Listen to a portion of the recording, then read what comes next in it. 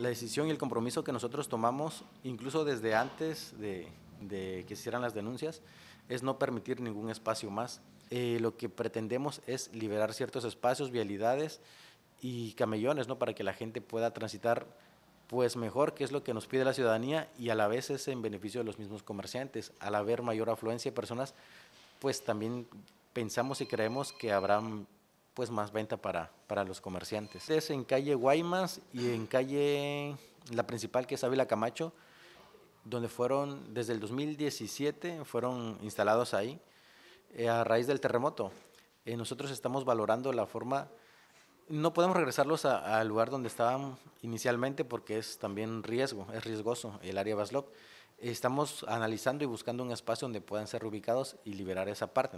Eh, es el compromiso que tenemos de, con la sociedad y con ellos también de ponerlos en un lugar seguro, tanto para ellos como para los clientes. Entonces, lo que hacemos es el trabajo también de, de concientización, ¿no? de respetar el espacio que la autoridad de cierto modo le ha otorgado, pero no excedernos más. Y afortunadamente los compañeros están eh, pues entendiendo.